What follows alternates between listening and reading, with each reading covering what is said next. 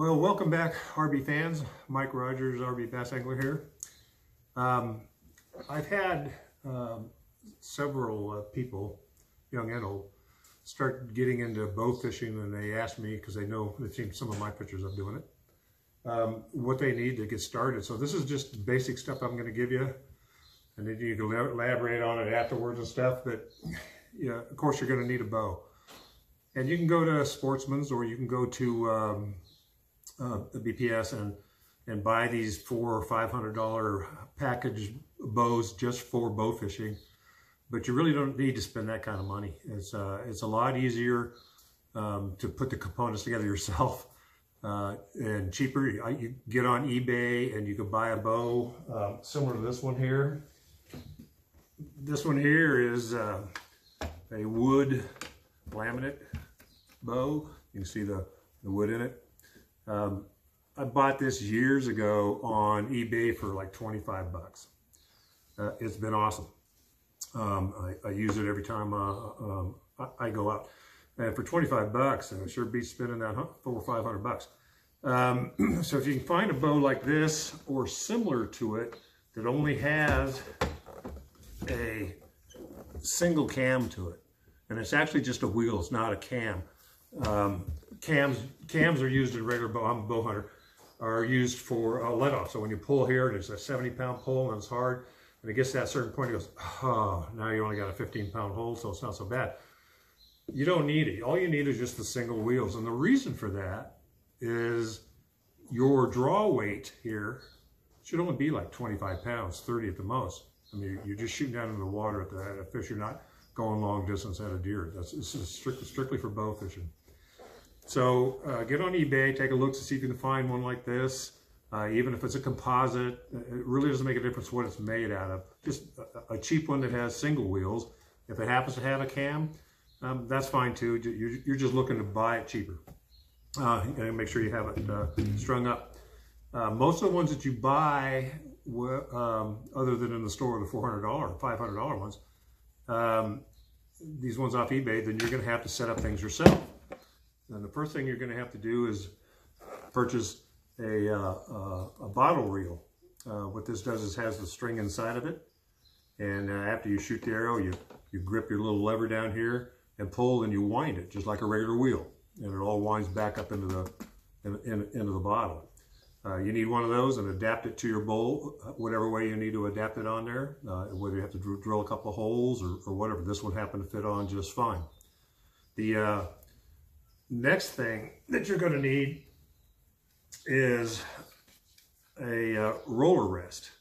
Now your arrow sits on this on this side, and I'll pull one out. I got one strapped to the bow here. I didn't want to take off. Um, it's this little roller right here. It's a rest. So the arrow will sit right on there. Um, give me a second. I'll pull one out. I'm going to show you this uh, arrow um, tube holder that I made as well here uh, in a minute. What you will need. All right, here's an arrow. And it goes right on the rest and back into the nock, which I'll explain in a minute.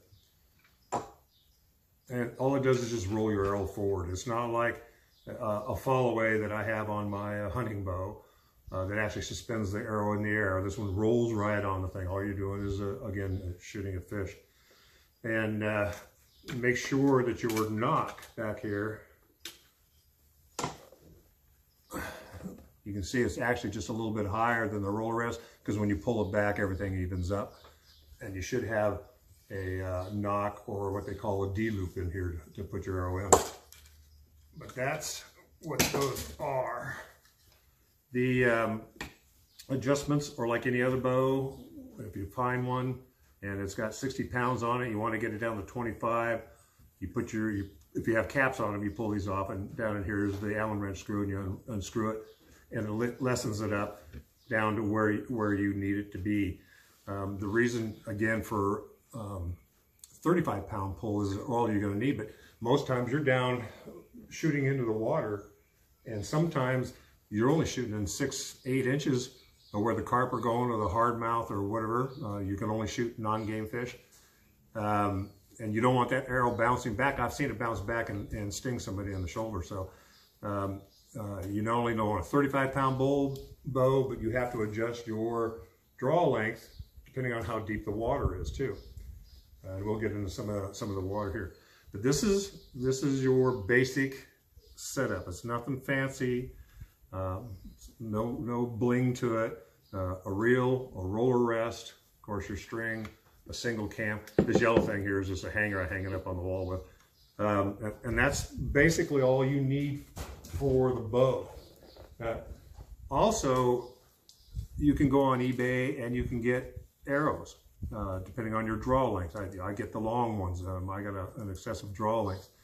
Um, you, you, can get them, they're cheap. I forget, it's been so long since I bought them, but um, you can buy like a dozen at a time. And if you can get them for, you know, 30, 40 bucks, it's awesome. Because if you go to a bow store or BPS or whatever, you're going to pay through the nose on these things.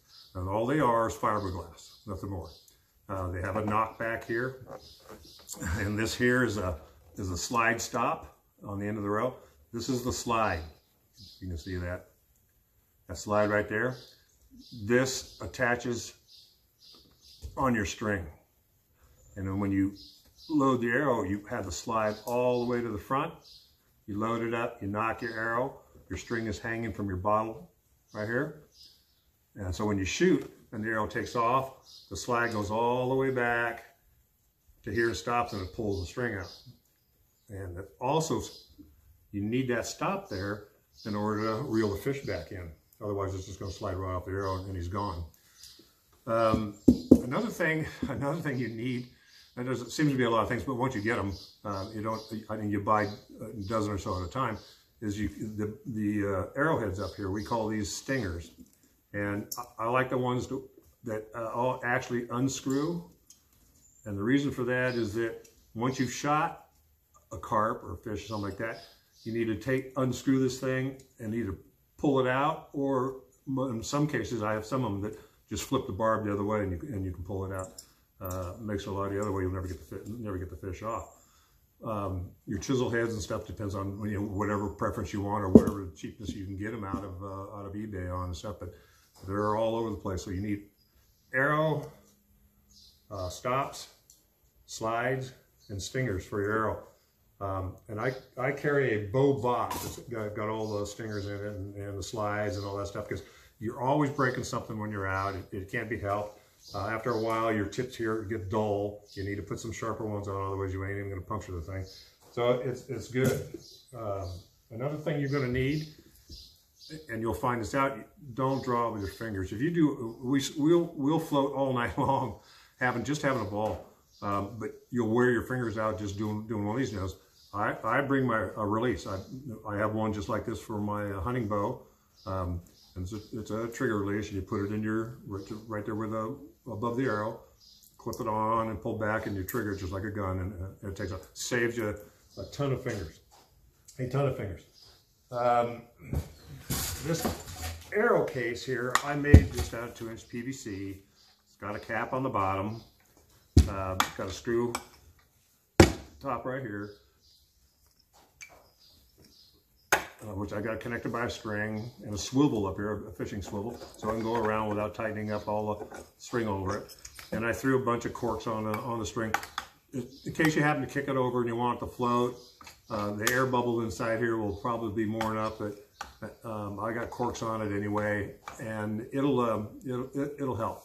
All all my arrows that are ready to go are in here. all I got to do is pick up the case and, and take off. So that's your basic equipment. Anybody can do it. Uh, get on eBay and buy the stuff. I, I kid you not, uh, being a bow hunter and how hard that is. Um, I've taken some uh, um, elk and some deer, uh, bears, stuff like that.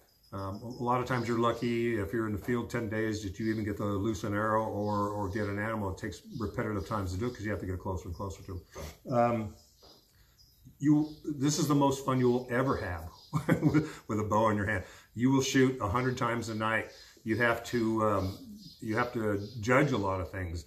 Uh, you don't have sights on these bows because you sight down the arrow to, to shoot.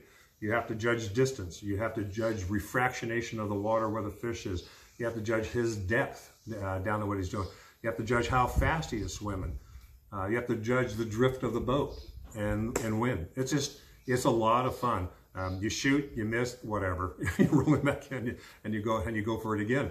Uh, my uh, tip to you is to um, uh, shoot low, uh, even if they're out a ways, which I like better. Uh, you, you shoot low because they arrow submarines. Um, unless you're going right over the top of them and you shoot straight down, it, it's fine. Uh, but get the stuff and go have fun. Um, hopefully you have a boat that you can drift with and stuff. Is stuff.